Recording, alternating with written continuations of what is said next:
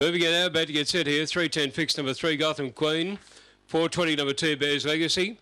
550 number four, Oso Rowdy. Moving it now, Magic Grant in one, Gotham Queen in three. Zipping Thurston the reserve in five. Scorching Lucy in seven. Set to go here, Ballarat race three over the 450. They're ready. About to go.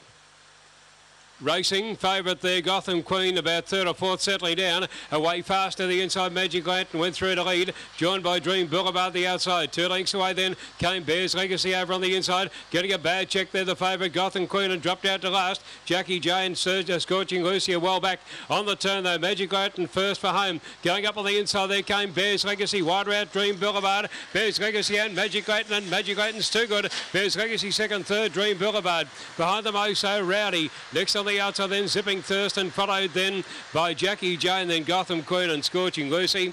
And the time for the race around 25.57.